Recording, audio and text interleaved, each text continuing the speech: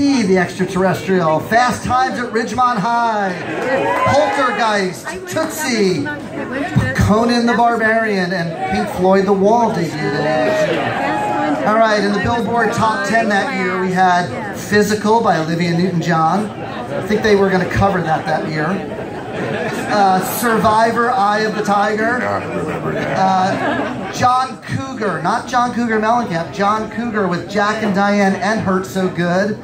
Steve Miller Band, Abracadabra, Soft Cell, Tainted Love, and Vangelis with Chariots of Fire. All right, so in Grateful Dead world, um, 82 was, you know, a pretty smooth year in a lot of ways. Um, they did about 65 shows. They played some Warfield shows, uh, some first uh, the Greek Theater again, um, Springfield Creamery up in, in Oregon. Um, they played some new songs in 1982. Touch of Grey for the first time. Brother Esau. Um, Throwing Stones. The Grateful Dead get political. Uh, keep your day job. And West LA Fade Away. Um, so, Phil is going to talk a little bit about some personal stuff that was going on in 1982 with him as well as some sort of shifts that were happening with the band and Garcia, and kind of what was leading up to the next couple of years uh, with Jerry and the band. Yeah, well, when we came, when 1982 started, it, it, it was a pretty dark time for me personally. Uh, um, I, I, had been drinking pretty heavily since the band uh, took a break in 1974, and when the band started up again, I didn't see any reason to stop. Uh, and uh, so I was uh, I was just like floating down that river, and, and, and over New Year's 81, 82, it just it, it just felt to me like I I really hit bottom. I was I was on the wrong side of the bridge when they closed it, so I had to stay. And it was it was actually New Year's Eve night that it, that it was closed. Okay. And it stayed closed until January 3rd. Okay, wow. And, okay. Uh, I was I was too out of it to get out of town on New Year's morning, and so there I was stuck in in, uh, in uh, the Marriott Motel on New Year's Day for the next three days because I could there was no way I could get across to Fairfax where I was living, or I'm sorry, San Rafael. And uh, that was, uh, it, like I say, it was a pretty dark time for me, but I really felt uh, when I finally got home and, and, you know, took a shower and looked at myself, uh, I, I, I kind of said to myself, hey man, you have hit bottom, man. You can't, you can't go down much further than this. You know, you got you, you got something's got to happen. And you know, and, and, as, and as human beings are, you know, I, I said that to myself, and I pr promptly forgot about it. went on about my life, but yeah, it, it does seem in hindsight that that, that that moment it was that was the moment when I, it's like when the sun starts to come back after the winter solstice. The, the light begins to grow in and you don't see it at first.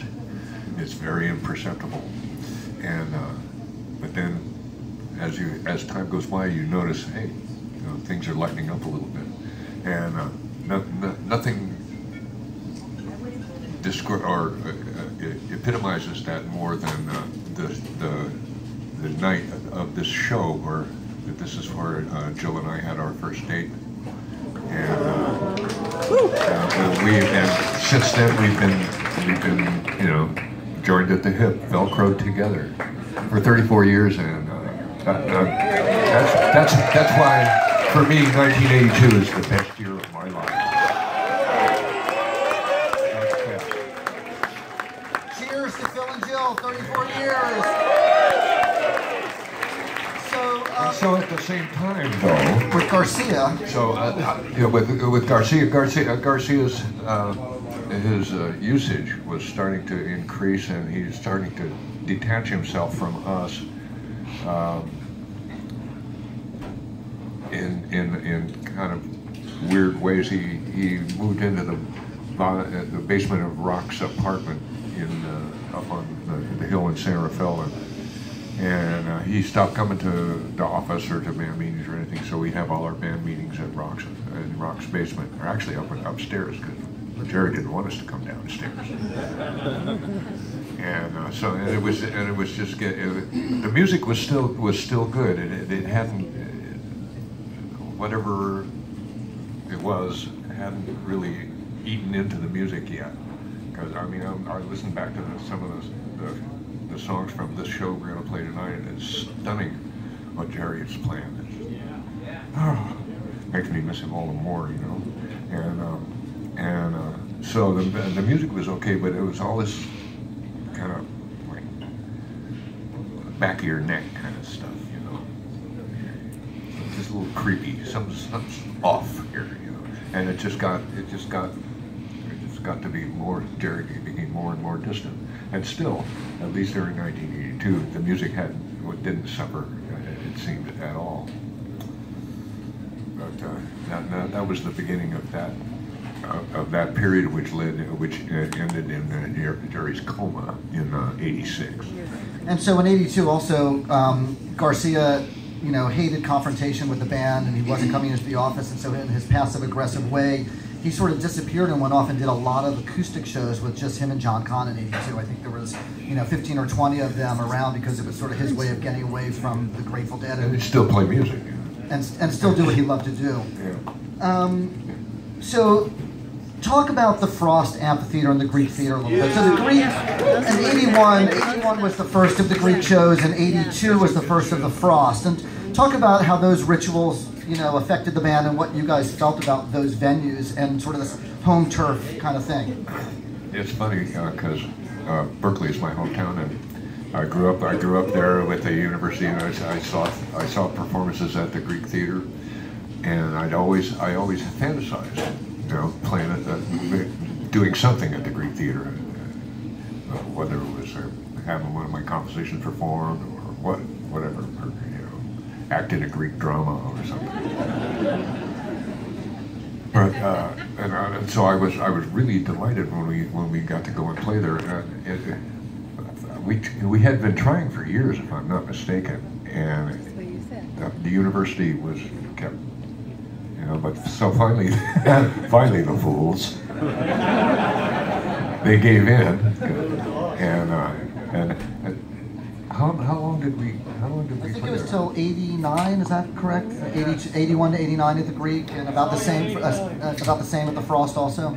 Yeah. Yeah. I think there were 13 shows at the Frost through '89. Yeah. And, and for for us, it was it was kind of it was kind of like a return of it was almost like a return of playing in the Panhandle or out, outside kind of casually uh, back in the day uh, because it, it, open air, you know, and uh, a lot of the shows are during the day or a large portion, some portion of them was during the day. You can see the audience and, and interact with the audience, and, and you're out there under the sky. It's, it's really, it's, it, my personal favorite is to play outside where there's no walls and you're in the sky. But that's only a little bit ahead of right here. Get ready for the park opening up outside under the sky. So, uh, 82, uh, the uh, end of the summer was the big show at the Springfield Creamery. It was sort of the 10 year anniversary of the Sunshine Daydream with, for the Keseys. But the other big 82 thing um, was the US Festival. And um, uh, the US Festival didn't Steve, Steve Wozniak wanted to introduce you guys, right? Some, something? Yeah, well, the, they, they, they, put us on. It was actually it was it was we in Jamaica. We went on earlier than that. It was like seven or eight in the morning. But that was just bad scheduling seven, because they were so far behind schedule. Yeah, yeah. But I think at the US Festival, they, they are always plan to have us play at 9.30 in the morning. And what did you say? How did I said, uh, uh, Steve Wozniak uh, wanted to introduce us. Uh, I'm not sure whether I knew that at the time, but uh, anyway, I, I, I mean, there was the opportunity was too too good to to pass up. So uh, so I just went up and Roll over and spread. It's time for breakfast in bed with the Grateful Dead. and now, wow. 1982. So a couple, of, couple of things here. Um, 1982, the US Festival was our good friend Brian Deadhead Land Markowitz's first Grateful Dead concert. You're up here, come on. Uh, Phil has a little gift for Brian. We have a copy of Phil Lesh and Friends live at the Warfield DVD. Thanks, Brian. show for me too. We love you, Brian. Thank you so much for being a part of the Terrapin family. And uh,